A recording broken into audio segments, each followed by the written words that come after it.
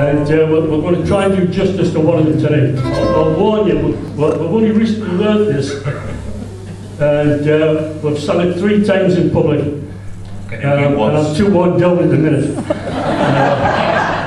I know it's, it's not looking good, is it?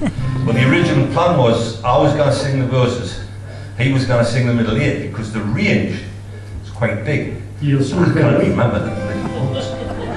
Yeah, I find it very hard to learn songs these days. Song called Field Behind the Plough.